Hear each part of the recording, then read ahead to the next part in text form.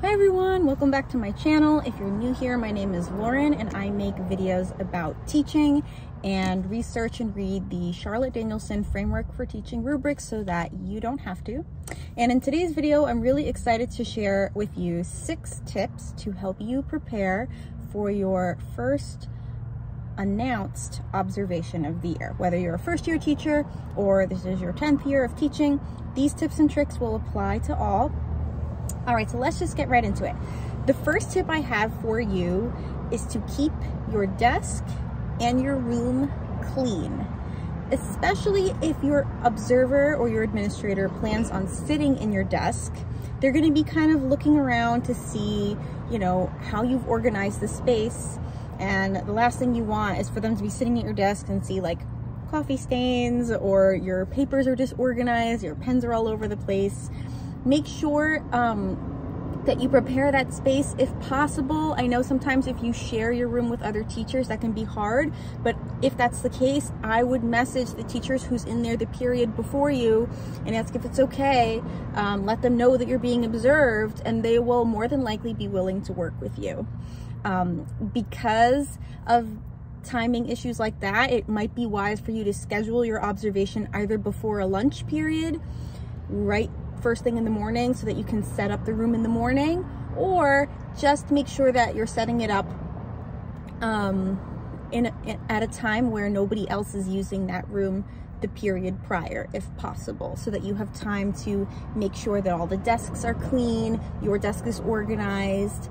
Um, to that point also make sure that there is work up on the walls. The walls are nicely decorated but not necessarily chaotic just that there are posters or something on the walls for them to look at. Um, you don't want your walls to be too bare for sure.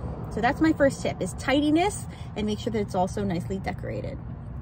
The second thing that you can do as a precautionary measure as a precautionary measure um, is to actually rehearse your plan with the kids prior. It's okay to let your students know that someone's coming in and let's say that you have a Socratic circle planned or a debate planned, something very interactive. It will actually ease the children if you take the time a period or two before to practice with the students so that you can kind of work out the kinks beforehand. Um, when an administrator comes into the room, the worst thing that can happen is that your kids start to feel nervous. So reassure them that they're not here to judge them, but to help them. And something that I'm really big on is making sure that my students feel comfortable around adults and talking to adults. So if your administrator comes in to observe and starts walking around the room and speaking to your kids, your kids should be prepared to answer back. If your administrator asks the kids or comes up behind um, a, a table and says, you know, what are you working on? Your student should never reply oh i don't know or oh i don't know they should have a response ready so you know practice that with them ask them okay Sally, what are we working on? And have them have a scripted response ready. It's also okay to let them know that they can say hello and welcome a new adult into a class. A lot of times students see an adult that they don't know walk into the room with a suit on and they just it's just commonplace to pretend that that person is not there. Um, but I let my kids get into the habit of saying good morning or good afternoon to a visitor in our classroom um, and get into the habit of also having conversation about their work with adults, even if they're not sure who they are. Okay, my third tip, and this is a really important one, if you're able to stand in front of the door to greet your students as they come in. It will show number one that your lesson is prepared and you're not using that time to scramble and you're, you're more relaxed. It shows number two that you have rapport with your students, which is one of the things they'll be looking for on the Danielson rubric. Same thing when, when they're about to leave stand by the door and say goodbye to them on the way out. Tell them have a good weekend, have a good day.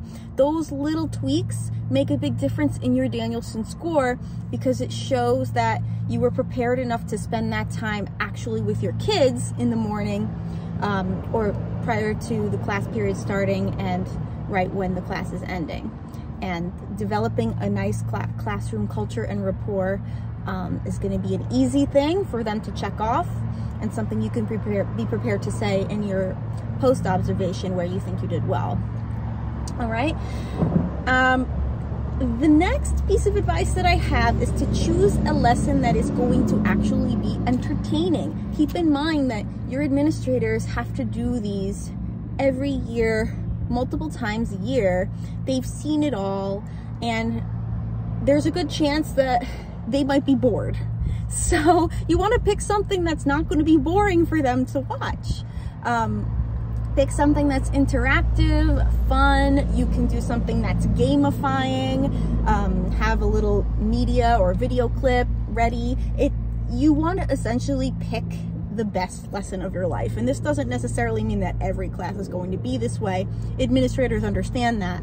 But just like a colorful resume will stand out in a big stack, a colorful lesson that, you know, is exciting um, or even, you know, can incorporate and have the administrator interact with is something that they will remember when they're, they're doing their scores. Okay. Um, the next piece of advice that I have for you is to plan out in advance the segments on the Danielson rubric or whatever rubric that your school uses that you want to excel in in advance.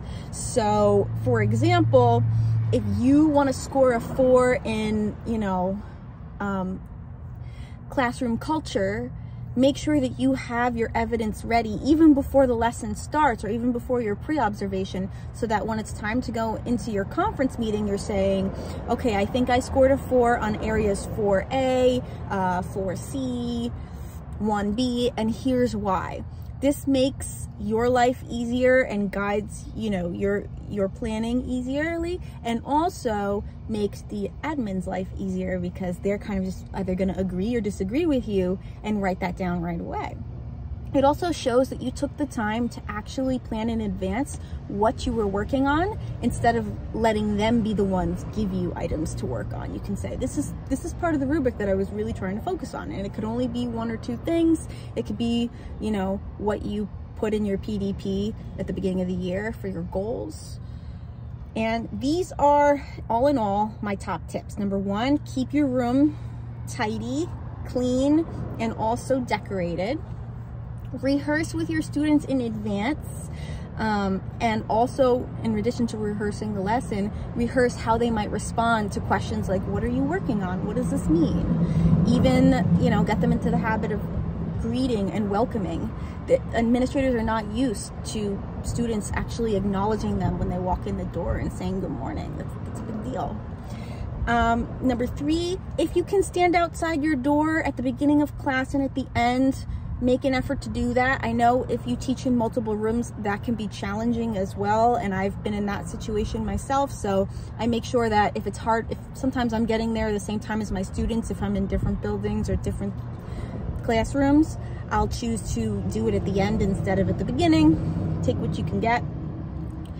Try to pick a lesson that is entertaining. Try to be entertaining so that your lesson stands out to them and so that your administrator has fun watching you. And um, finally, make sure that you're planning out the segments of the rubric that you specifically are goal setting to score a four on or whatever you know the scoring metrics are for your rubric. Have that laid out in advance. And if they decide that you scored four in other areas as well beautiful. But it looks good for you to have a goal set in mind in advance for yourself on that rubric. I hope these tips tips were helpful um, I will see you guys in the next video. Have a great day.